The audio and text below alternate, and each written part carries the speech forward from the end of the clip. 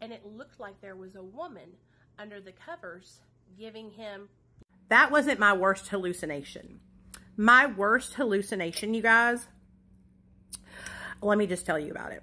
So I'm right now I'm eating some chicken and rice and a little bit of asparagus. So, but my worst hallucination and most real hallucination was when I saw Si from Duck Dynasty. This was like a two or three day bender that I was on, hallucinations. And I was going in between different places. I was at my friend Tara's house at one point. I was at my friend Gerald's house at one point. But towards the end, I was at Gerald's and I had been up on Roxy's, a methamphetamine and Xanax. And he gave me a um, Seroquel. Maybe that sent me into even worse hallucinations. And I started hallucinating that Si from Duck Dynasty was in the vent. Where's the vent at? Like, so I was in this trailer house and there was a vent in the ceiling and Si was sticking his head out of the vent looking at me and I was sitting in a recliner looking at back at him. Bitch, he kept popping his head in and out, in and out, in and out. And I thought he was going to cut this rope and catapult me out of the recliner out of the top of their trailer house. I got really scared. I tried to go lay down, but I couldn't sleep. So I got back up.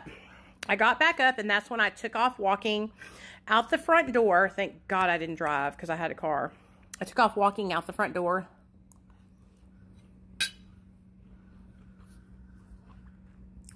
And while I was walking in the neighborhood,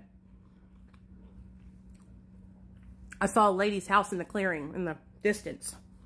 And all I could see in her house was a big old pile of weed brownies, like all broken up, like a mountain of them on her front porch. And so I started freaking out. I thought, oh my God, the cops are to arrest this lady. I'm put some more asparagus on my plate. The, the cops are to arrest this lady. She's to go to jail. I have to help her. I need to sweep all these weed brownies off of her porch, right? And I'm to heat this up again. And um, I need to sweep all these weed brownies off her porch and help her so she doesn't go to jail. So I grabbed a stick and I started trying to knock these weed brownies that are not really there off her front porch. Honey, she called 911. The officer told my mom later on she was a Spanish speaking lady and I scared her straight. She couldn't even speak Spanish.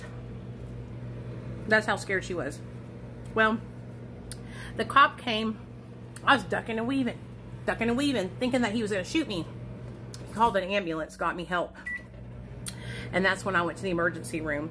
And baby, if you want to know the hallucinations that I saw in the emergency room, comment down below, share this video, and ask me. I'll use one of y'all's comments to make the next video.